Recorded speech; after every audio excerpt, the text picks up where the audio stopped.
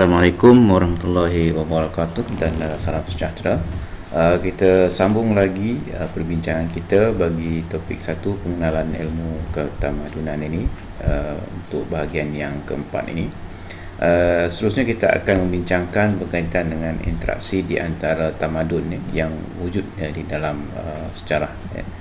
Uh, kita melihat bahawasanya uh, wujud pelbagai jenis uh, interaksi di antara tamadun ya, yang telah di yang dapat kita kesan dan dapat kita alami sendiri ya, dalam konteks kehidupan kita hari ini.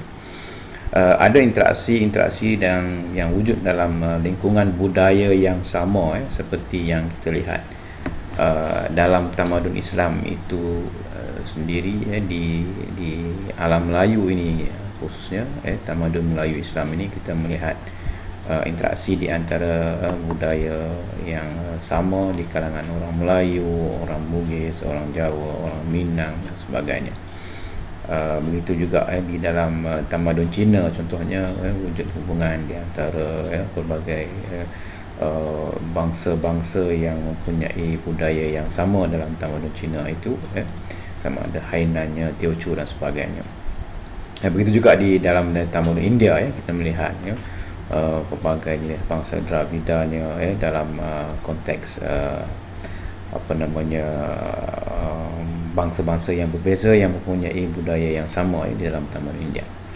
Uh, interaksi yang kedua ini adalah interaksi budaya dan peradaban yang eh, yang berbeza. Eh. Ini wujud di kalangan tamadun yang mempunyai asas uh, yang berbeza dalam konteks budaya dan juga mungkin pegangan agama. Eh. Contohnya di kalangan orang Melayu dengan orang uh, Thai eh, yang beragama Buddha, orang Melayu yang beragama Islam eh, dan uh, begitu juga dalam konteks yang kita uh, dapat uh, uh, gambarkan eh, bagaimana uh, berka, per, uh, interaksi di antara orang Melayu, India dan Cina ini yang mempunyai latar belakang budaya yang agak berbeza eh, yang kemudian yang membentuk satu uh, budaya yang baru eh, mungkin yang nak dilabelkan sebagai budaya Malaysia eh, dan dalam konteks tamadun Malaysia uh, wujud juga di dalam sejarah interaksi antara uh, peradaban yang dominan dengan yang tidak dominan ya.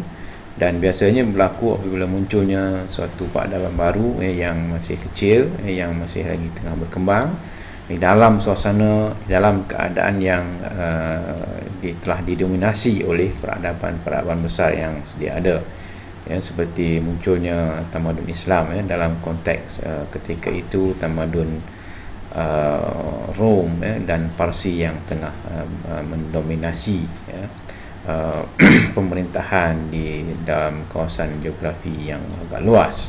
Uh, kemudiannya apabila Islam berkembang ya, uh, di kalangan uh, orang-orang ya, Arab di semenanjung tanah Arab, Islam menjadi uh, tamadun yang dominan ya, yang mendominasi hubungan interaksinya dengan uh, pegangan uh, dengan kumpulan uh, masyarakat yang beragama lain seperti Yahudi, uh, Nasrani dan sebagainya. uh, apakah kesan yang daripada interaksi yang berlaku di antara tamadun tersebut? Ya? Uh, kita lihat uh, bahawa uh, kesan interaksi di antara tamadun ini uh, wujudnya penyebaran agama, ya? di mana berlakunya perkembangan uh, sebuah agama dan mungkin juga um, kehilangan pengaruh bagi agama yang lain ya seperti uh, bila kedatangan Islam di di tanah Arab itu uh, pegangan agama-agama uh, yang lain itu uh, makin hilang pengaruhnya dan agama Islam itu semakin uh, berkembang ya uh, begitu juga kita melihat interaksi di antara tamadun kita katakan tamadun India eh, yang menguasai di alam Melayu pada satu ketika itu bila datangnya agama Islam ya, agama Islam itu berkembang luas sehinggalah agama Islam itu menjadi agama yang besar eh, di, di alam Melayu ini. Dalam konteks uh, teknologi ya, uh, berlakunya perkembangan teknologi ini mungkin kita melihat dalam konteks hasil perkongsian uh, teknologi-teknologi yang dikira sebagai maju pada ketika tersebut ya. Dalam uh, contohnya uh, teknologi uh, um, apa ubat bedil ya uh, yang dibawa daripada China ya, yang dikongsi dan diterima pakai oleh tamadun Islam dan tamadun Barat ya.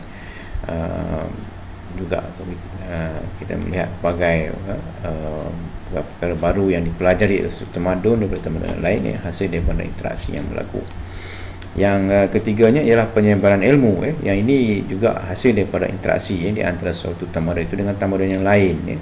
Ini jelas ya di, diperlihatkan contohnya interaksi di antara tamadun Islam dengan tamadun Barat ya, di mana Islam menjadi jambatan ya, kepada perkembangan ilmu yang wujud sebelum itu untuk uh, di, di, dimanfaatkan oleh tamadun Barat.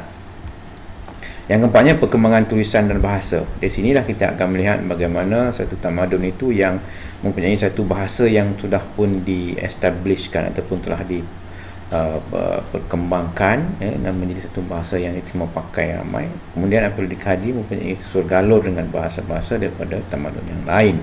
Ya, seperti bahasa Melayu yang punya surgalur daripada ya, tamadun India ya, dalam konteks uh, bahasa Sanskrit tamadun Islam ya, dalam konteks bahasa Arab ya, dan sebagainya.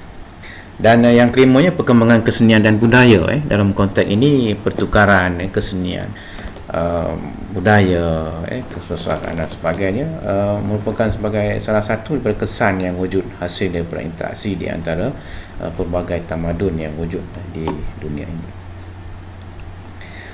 Um, sekalipun wujud uh, kita katakan setiap tamadun itu mempunyai nilai atau mempunyai pegangan tertentu yang agak unik yang berbeza dengan tamadun yang lain ya. tetapi apabila dilihat dalam konteks yang lebih luas setiap tamadun itu mempunyai nilai-nilai universal ya, yang boleh diterima pakai secara uh, sama di antara mereka dan nilai ini biasanya disebut sebagai nilai sepunya ya. kerana nilai ini tidak di, mungkin di, tidak di tidak dapat dikatakan dipunyai satu kumpulan sahaja tetapi juga dipunyai kumpulan-kumpulan yang lain jadi nilai-nilai ini kita uh, artikan sebagai nilai universal eh, yang wujud dalam semua tamadun-tamadun uh, di dunia ini ya. Di dalam tamadun Islam ada nilai-nilai yang telah dipegang yang juga mempunyai pegangan ini telah wujud di dalam tamadun uh, China, dalam tamadun India dan juga tamadun Barat. Um,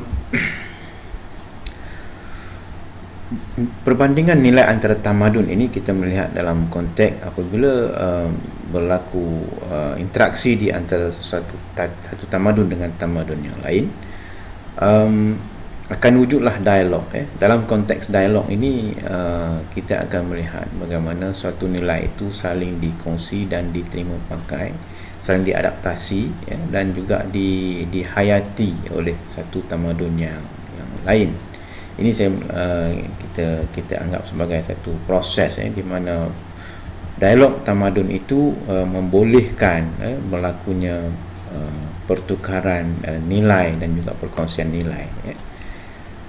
dan uh, dialog tamadun atau dialog peradaban ini um, yang ditumpukan kepada uh, proses untuk mengharmonikan ya, uh, pandangan dan pemikiran antara satu sama lain yang uh, difokuskan kepada nilai-nilai etika yang dipegang secara bersama eh. uh, yang uh, biasanya disenaraikan antaranya lebih kurang tujuh uh, nilai-nilai etika yang yang sering menjadi satu uh, aspek penting yang diperdebatkan uh, ya, yang uh, apabila dilihat dalam konteks ini ke semua tamadun di dunia ini inginkan supaya ke semua uh, persoalan uh, etika ini ya, diuruskan dengan secara yang baik ya.